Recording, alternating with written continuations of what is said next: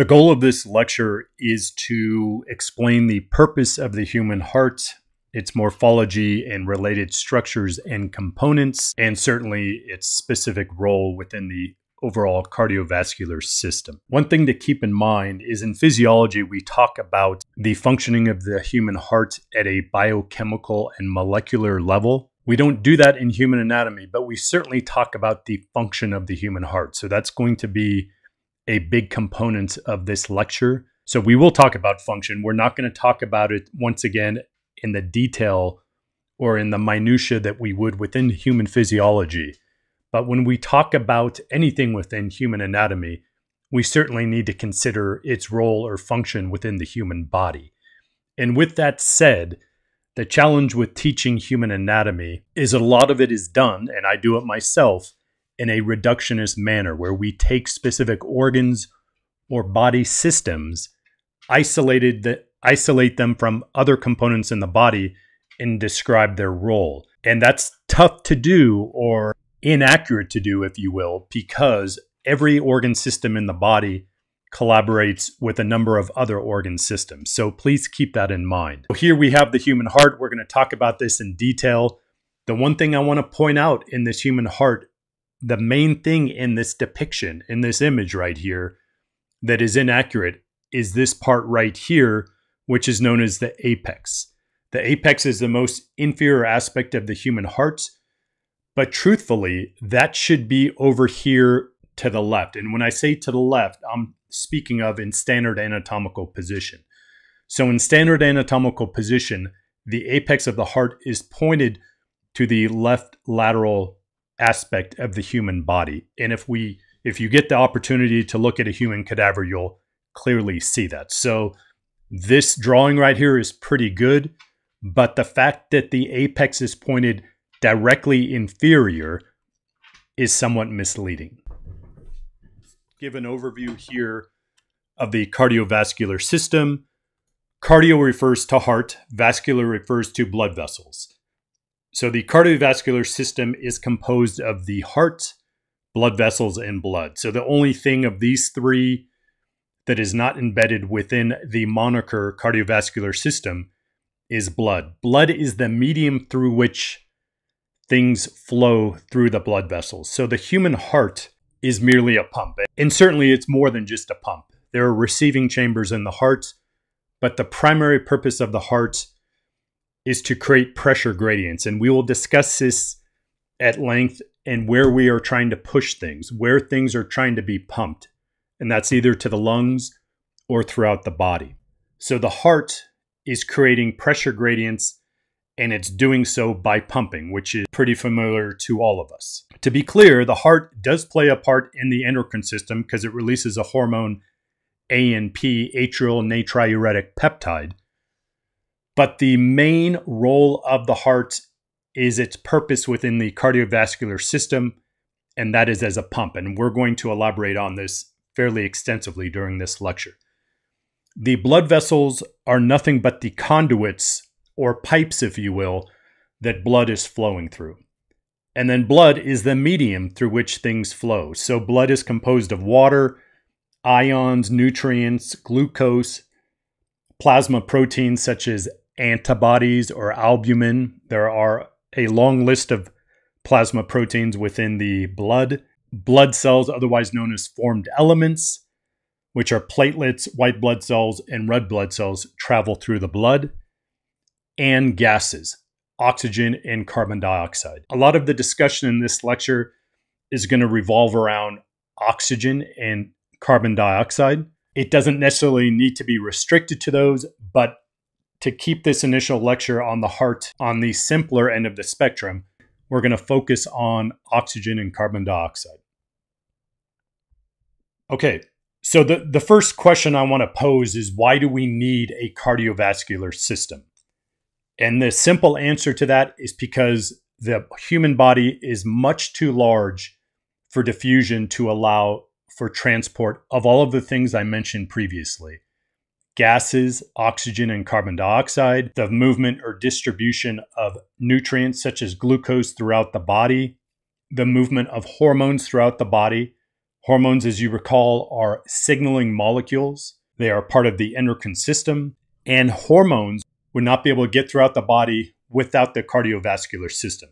So, diffusion is the movement of ions or molecules from an area of high concentration to an area of low concentration. That's what we see in this image right here. In the container on the left, we have the entity here, whether these are ions or molecules, it doesn't matter. And we see to the right, they have diffused to areas of lower concentration. We saw diffusion when we looked at the nervous system. So here we have a neuron releasing its signaling molecule, which is a neurotransmitter. The neurotransmitter travels from the neuron to the cell it is impacting, whether that's another neuron or a muscle cell or a heart cell, via the process of diffusion. And it can do that because this space right here, or cleft, is super, super small. And when I say small, this space between the neuron and this cell is roughly 20 nanometers. A nanometer is a very, very, very, very small distance. To put that in perspective, a human hair is approximately 90,000 nanometers. That is to say, the width of a human hair is roughly 90,000 nanometers. So, because neurotransmitters are traveling a very short distance, they can achieve this movement from point A to point B via the process of diffusion. But when we're talking about hormones and nutrients and gases, they need to spread throughout the whole body. And diffusion, things cannot diffuse super long distances. So that's why we have the cardiovascular system to propel things and perfuse things and move things throughout the body from point A to point B, which could be a very long distance. So let's just take a very basic look at the cardiovascular system. And really, what we're looking at here is a component of the circulation known as the systemic circulation. Systemic is suggesting body wide. So the blood is going everywhere. It's going up to the brain, it's going to the pancreas, it's going to our GI tract, it's going to the big toe. It's perfusing nutrients and gases and hormones throughout the whole body. That is the systemic circulation. Up here at the top, we have the human heart, which looks nothing like this. Leaving the heart in the systemic circulation is going to be an artery, giving rise to arterioles, then to a capillary bed, venules, and veins, and back to the heart. The arteries are going to leave the left ventricle. The pump for the systemic circulation is the left ventricle. We are going to outline this very clearly in subsequent images. It's going to pump blood throughout the systemic circulation and exchange of nutrients and gases and waste products at the tissues happen at a region or blood vessels known as capillaries. And we're going to have another video specific to capillaries, or excuse me, specific to blood vessels. So don't worry too much about the intricacies of these blood vessels. But when I say the tissues, I am talking anywhere in the body. Once again, it could be the brain, it could be the kidneys, the adrenal glands, the uterus, the bladder. So the systemic circulation is providing oxygen rich blood to the tissues. And once again, I'm just focusing on gases here. We could be considering glucose or hormones, but really from here forward, I'm really going to refer to the level of gases within the blood, whether it's oxygen rich or oxygen poor. This is the systemic circulation, leaving the heart, specifically leaving the left ventricle, is the systemic circulation or the beginning of the systemic circulation. And then that circulation goes back to the heart via the venous end of this spectrum, and that is oxygen poor blood. So, one thing I want to point out veins do have oxygen in them. It just has a much they just have a much lower level of oxygen than arteries. Sometimes you may see that veins are deoxygenated blood, but that's inaccurate. So we will use the term oxygen rich for arteries and oxygen poor for veins. Oxygen rich blood leaves the left ventricle of the heart and returns to the heart. Now, oxygen poor blood returns to the heart into the right atrium. So, everything I'm showing right here is a reflection of the systemic circulation. The other half of circulation is the pulmonary circulation, and that is the heart in relation to the lungs. So, when we talk about oxygen and carbon dioxide, we breathe in oxygen from the atmosphere and we breathe out carbon dioxide into the atmosphere. Carbon dioxide is a waste product of cellular respiration. Remember that glucose plus oxygen makes ATP, and carbon dioxide is a byproduct of that reaction, as is heat and water, but we're not concerned about those at this point. So we need to get rid of that carbon dioxide and we need to bring in more oxygen. So, just a brief preview of the heart.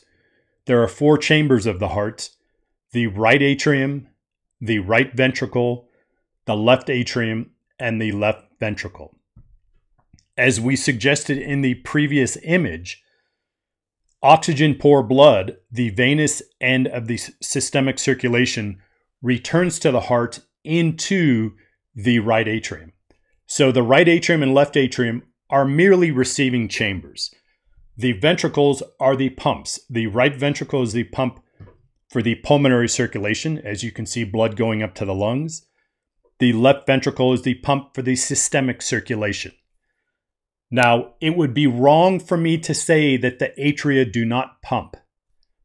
They will contract and push blood into the ventricles, but at a much, much, much smaller scale than the pumping action of the ventricles. That is to say, most of the blood from the atria, atria is plural, atrium is singular, most of the blood, say in this case from the right atrium to the right ventricle, moves via gravity. It's just falling from the right atrium into the right ventricle. Though certainly when the right atrium pumps or contracts, it's going to push the remaining blood in the atria in the atrium into the right ventricle. So now the right ventricle is the pump for the pulmonary circulation. That is to say, it's pumping oxygen poor blood, and that's why I tend to draw veins or venules in blue. Blue is connotating or suggesting oxygen poor blood. That oxygen poor blood is going to be pumped from the right atrium to the lungs via this vessel right here, which is the pulmonary artery. Anytime you hear the word artery, that is suggesting a blood vessel is taking blood away from the heart, specifically away from a ventricle. In this case, the pulmonary artery is pumping blood from the right ventricle to the lungs, and it's pumping this oxygen poor blood to the lungs so we can get rid of carbon dioxide from our blood and bring in more oxygen into our blood. This is gas exchange at the lungs. To be clear, there is gas exchange at the tissues that we talked about previously. But in that case, let's say the gas exchange is happening at the big toe, oxygen is leaving the bloodstream through the capillaries, and carbon dioxide is moving into the bloodstream. Here we have carbon dioxide leaving the bloodstream into the lungs so it can be breathed out into the atmosphere. And then we are taking oxygen into the blood. That makes the blood oxygen rich that we see right here in red. This is the pulmonary vein. Anytime you hear the word vein, that is suggesting it's taking blood towards the heart. Arteries take blood away from the heart, veins take blood towards the heart. To be clear, most veins are oxygen poor, most arteries are oxygen rich, but that's not always the case. And this image right here is one significant exception. That is to say, this is a pulmonary artery taking blood away from the heart, but it's oxygen poor. And this is a vein which is oxygen rich, taking oxygen rich blood back to the heart, dropping it into the left atrium. From the left atrium, blood will move into the left ventricle, and from the left ventricle, blood will leave and move into the systemic circulation. Specifically, it's going to move into the aorta, which that blood vessel, which is going to distribute blood throughout the whole body, oxygen rich blood. And to be clear, it's not the aorta. The aorta has branches coming off of it. Those have branches coming off of it, going to different areas of the body. One thing I want to be clear in this image it is not anatomically or spatially correct. The lungs are not above the heart, and the pulmonary artery does not leave the right ventricle from that perspective of the heart. So let's get a better perspective on where the heart is in relation to the lungs. Okay, here we have an image of the ventral body cavity. Keep in mind, if we were to divide the body into two general cavities, we would have the ventral body cavity and the dorsal body cavity. The dorsal body cavity, remember, contains the brain and the spinal cord, the cranial cavity and the vertebral canal. Everything else is in the ventral body cavity. And that's what we see right here. Don't worry about all the details on this, but there's blue, the uterus, the intestines, the stomach, the liver. And then up here, we see the lungs and the heart. To be clear, this red line right here is the diaphragm, and that is separating the thoracic cavity from the abdominal pelvic cavity. So the heart resides in the ventral body cavity more specifically, it resides in the thoracic cavity. That is the portion of the ventral body cavity that is immediately superior to the diaphragm. And more specifically, the heart resides in a region between the right and left lung known as the mediastinum. Okay, so here's another image of the heart. This is a much better image of the hearts. And one reason it's much better is we can see the apex of the heart right here pointed towards the left. Once again, in your image right here, we're looking at this. This is to your right, but we have to think of standard anatomical position. This individual is facing you, making this over here the left side of the heart, and this is the right side of the heart. So the apex is down here pointing to the left, and it is theoretically the most inferior aspect of the heart. And I always say that semester in and semester out as I look at this. Is this portion of the heart more inferior than the apex? Maybe. But let's just still consider the apex the most inferior aspect of the heart. And that's somewhat confusing because generally when we think of an apex, we think of a zenith or vertex or point towards the top of something like a pyramid. But for the heart, the apex is the most inferior aspect of the heart. The base is towards the top. So once again, that's a bit confusing as well because we, chen- we tend to think of a base is towards the bottom. So this plane right here is the base of the heart, and it has a number of the great vessels coming off of it or moving into it. And my distinction there is that arteries come off of the heart because blood is leaving the heart via arteries, whereas veins move into the heart because they are bringing blood to the heart. So in this image right here, off the base of the heart, we have this superior vena cava, which is delivering blood back to the right atrium. And to be clear, this right here is the inferior vena cava, which is also bringing blood back to the right atrium. The inferior vena cava is bringing blood back to the right atrium from inferior to the diaphragm. The superior vena cava is returning all blood superior to the diaphragm back to the right atrium. When I say superior, we're thinking the brain and anything within the thoracic cavity. So once again, inferior vena cava, superior vena cava. This right here is the aorta, specifically the aortic arch right here. And that has a number of vessels coming off of the aortic arch that we will talk about in detail in a subsequent video. But this aorta is taking blood away from the heart into the systemic circulation. This right here is the base of the aorta. That's not a chamber of the heart. And blood from the aorta is coming from the left ventricle, which is which once again is the pump for the systemic circulation. The right ventricle is the pump for the pulmonary circulation, and that's going to pump blood into the pulmonary artery. So, in the image we saw previously, I had the pulmonary artery leaving somewhere around here in the right ventricle, which is not accurate, but it was a simplified version of this. So, from the right ventricle, blood is going to be pumped via the pulmonary artery to the lungs. So, here we have it moving to the right lung, and here we have the left pulmonary artery going to the left lung. This aspect or region of the pulmonary artery is known as the pulmonary trunk until it bifurcates into the right pulmonary artery and left pulmonary artery. The right ventricle is pumping blood through the pulmonary arteries to the lungs so it can drop off carbon dioxide and pick up oxygen. Once that oxygen is picked up, it comes back to the heart via the pulmonary vein into the right atrium. And I'm going to talk about this in even more detail in a subsequent image. I just want to lay out the basic structures of this heart. Superior vena cava, aorta, pulmonary artery, pulmonary vein. Right here we have the aorta. I already told you this was the aorta.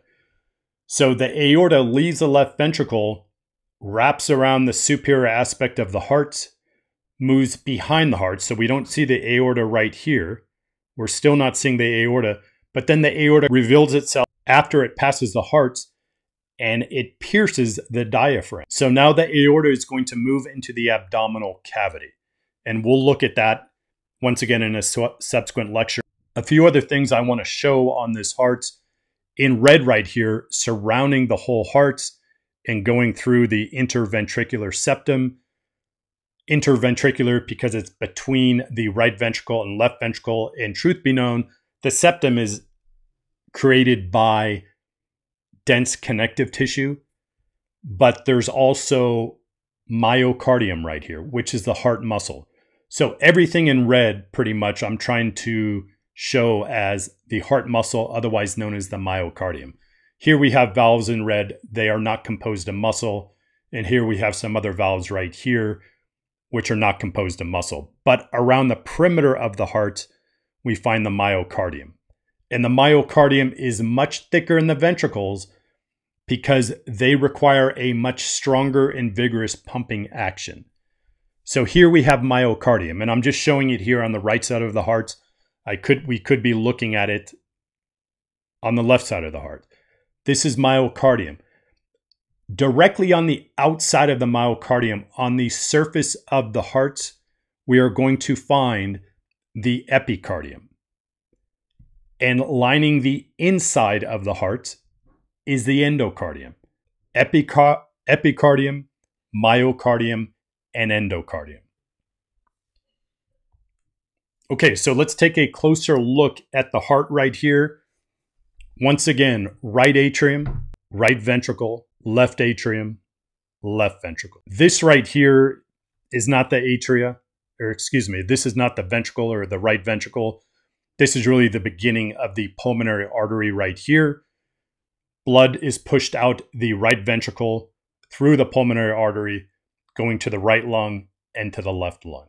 This right here is also not a chamber of the heart. So uh, I refer to the heart as having four chambers, the two atria and the two ventricles. This is not a chamber either. This right here is the base of the aorta. So this blood right here is being ejected from the left ventricle up into the aorta for the systemic circulation. So this blood is going to move behind this pulmonary artery into the aorta. And to highlight, the aorta is an artery. It's the largest artery in the body. This right here is the pulmonary artery. These are both arteries taking blood away from the heart.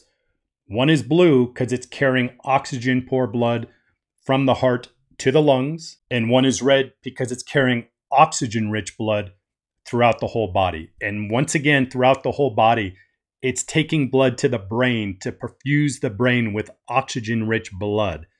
It's taking blood to the stomach, to the GI tract to provide all of the tissue there, all of the cells there with oxygen rich blood.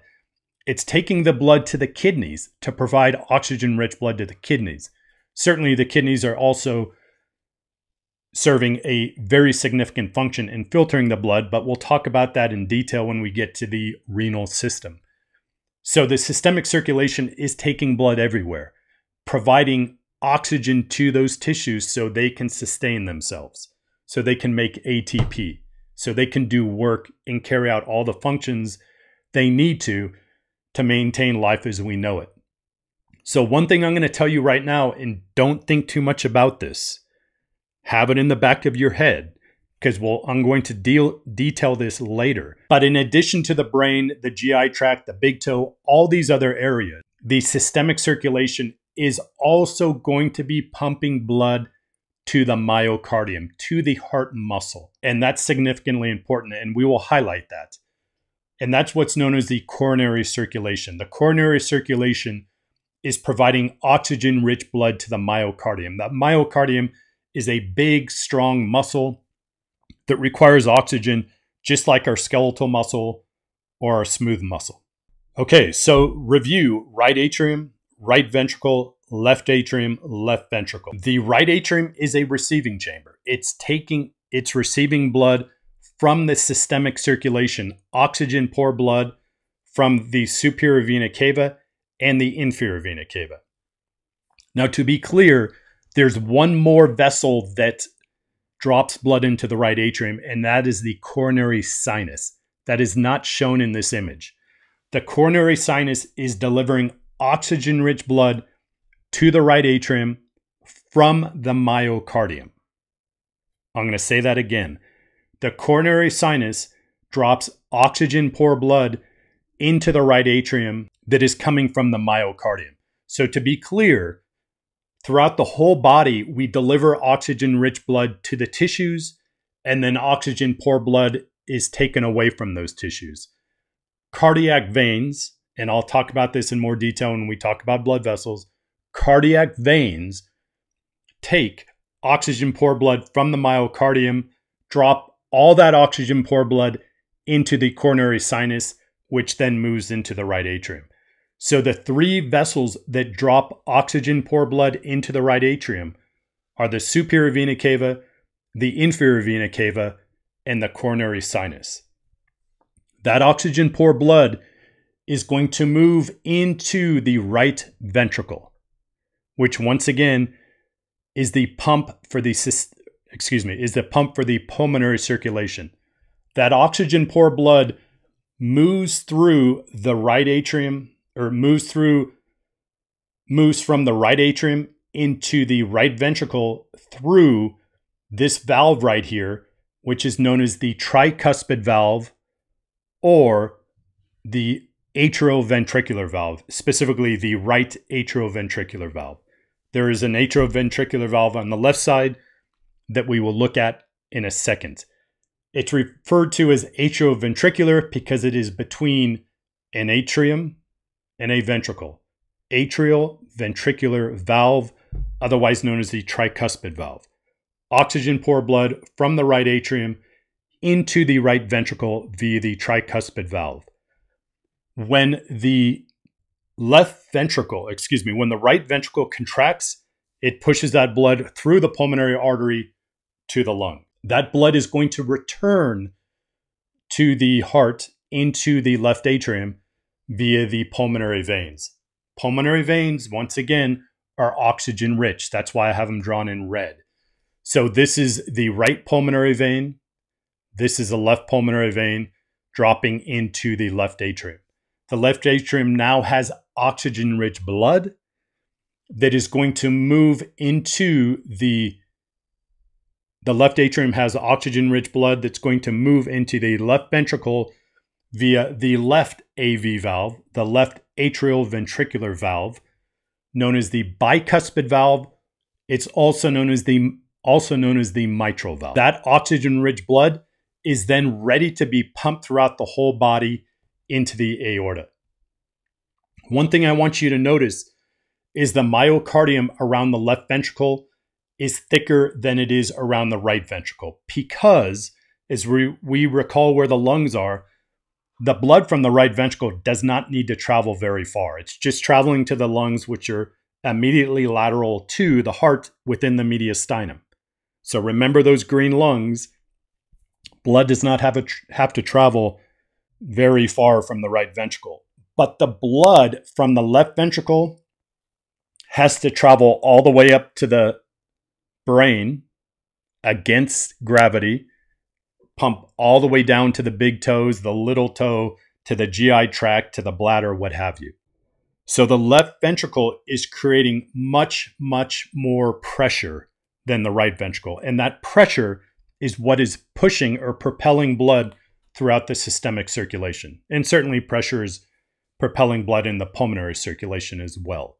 So then it pumps through the systemic circulation, comes back to the heart via the inferior vena cava, superior vena cava, the coronary sinus, which would be coming in roughly right around here into the right atrium.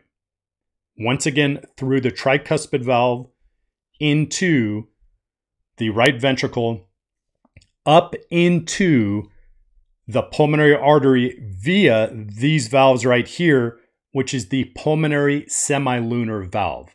I'll detail these valves in another lecture, but these valves here, the semilunar valves, prevent backflow of blood into the right ventricle during ventricular diastole. Diastole is relaxation of a heart chamber.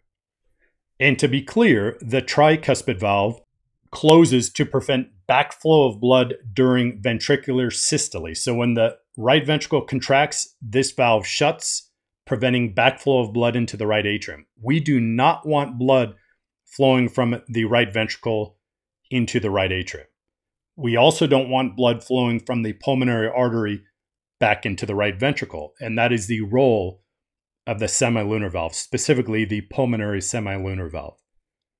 And to be clear, the mitral valve right here, otherwise known as the bicuspid valve, prevents backflow of blood from the left ventricle into the left atrium during ventricular contraction, otherwise known as systole.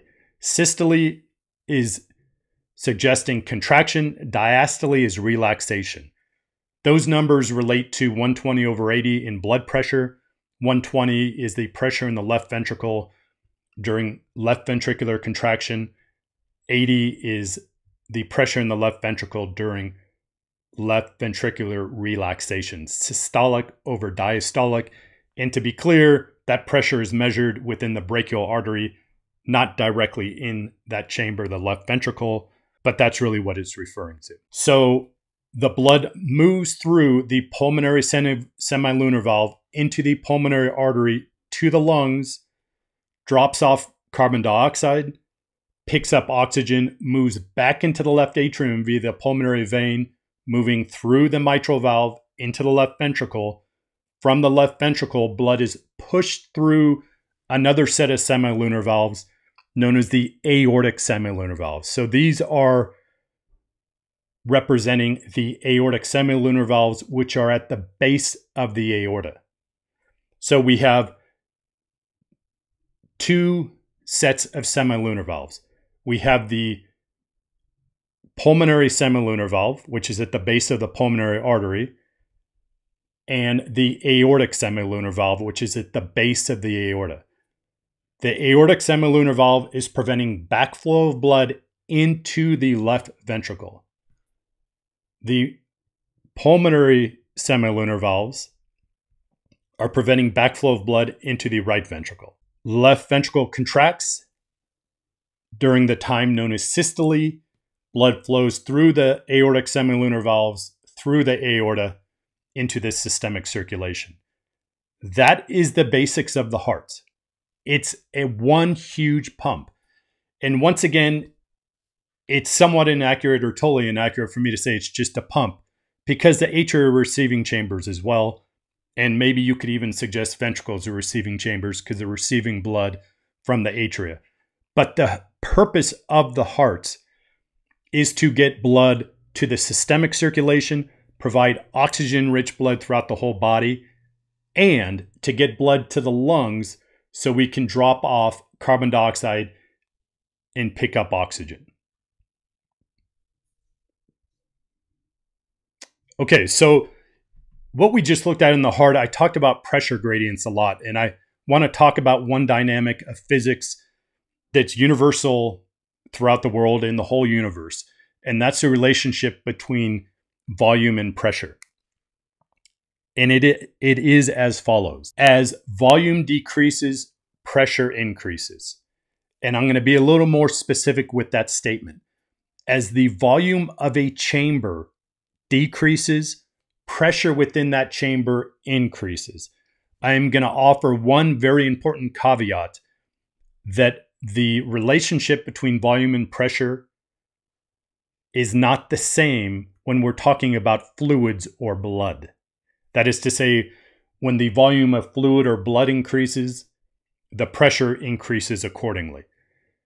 But when we're talking about the chamber, and that's really what I want you to focus on right now, when I'm talking about a chamber, the right ventricle or the left ventricle, so let's just focus on the left ventricle.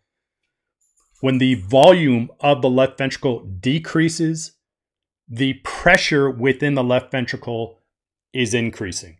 That is an inverse relationship. So when we're talking about a chamber, the volume and the pressure, volume and pressure have an inverse relationship.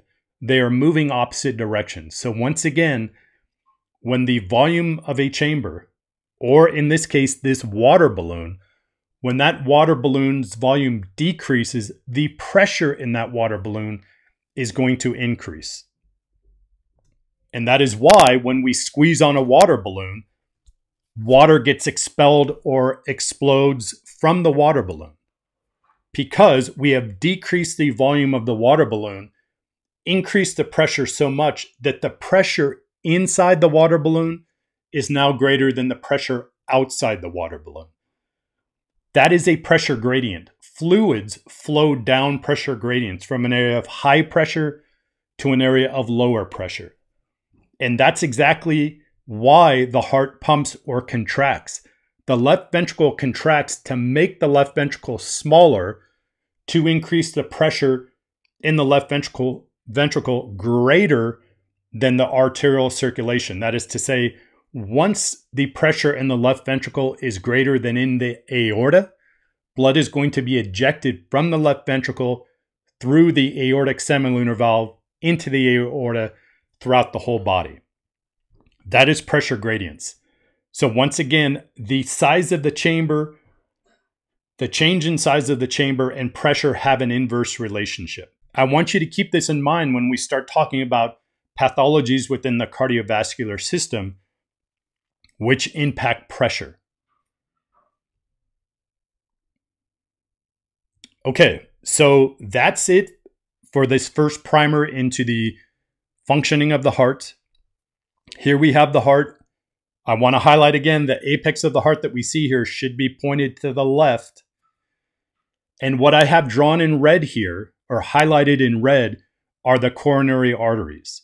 The coronary arteries are coming off the base of the aorta right here. And they are providing oxygen rich blood to the myocardium, to the heart muscle, so that heart can pump and pump and pump all day long, all week long, your whole life. That heart theoretically is never going to stop. Occasionally, it may stop for some people. Hopefully, it gets restarted. These coronary arteries, if they become blocked or occluded, is when we have problems with the heart. When a coronary artery becomes occluded, then oxygen is not be being delivered to the myocardium. And if the myocardium doesn't have oxygen, it's not making ATP. If the myocardium doesn't have ATP, it's no longer going to be able to pump or contract. The non highlighted vessel right here would be a cardiac vein, and that's taking oxygen poor blood from the myocardium back into the coronary sinus, which drops into the right atrium. Okay, more on the heart in a subsequent video.